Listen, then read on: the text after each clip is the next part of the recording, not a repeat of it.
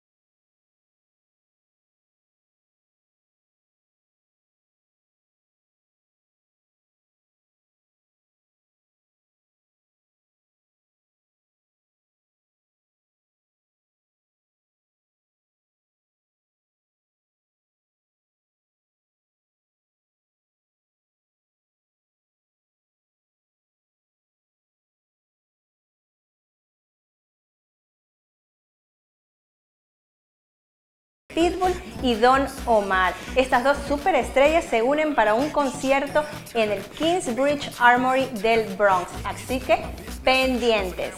Y suenan las campanas de boda para la boricua Jennifer López junto a su novio Casper Smart. Él recientemente dio declaraciones a una revista donde él dice sentirse preparado para dar ese paso tan importante, pero él dice que quiere primero asegurarse de tener un trabajo fijo y un sueldo estable. La colombiana Shakira será la coach de la próxima temporada del reality The Voice y será ella quien sustituya a Cristina Aguilera. Eso es todo por esta semana, amigos. Me despido. Síganme a través de mi cuenta de Twitter, arroba Gisela Tinoco. Los veo. Hasta la próxima.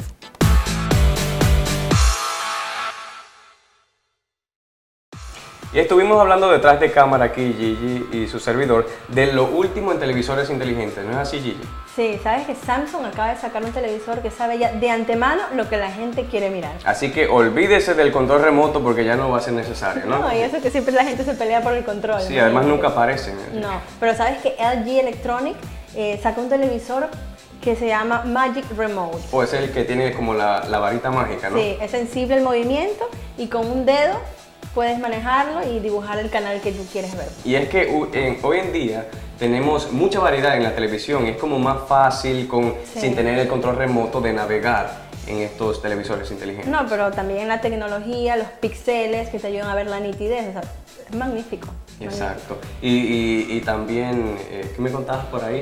Que tú quieres un televisor. Que yo quería uno, ya, así que va, eh, yo le dije, Gigi, ya ve eh, guardando tu dinerito por ahí porque diciembre, cuando uno viene a ver, se acerca rapidísimo. Así que yo quiero mi televisor.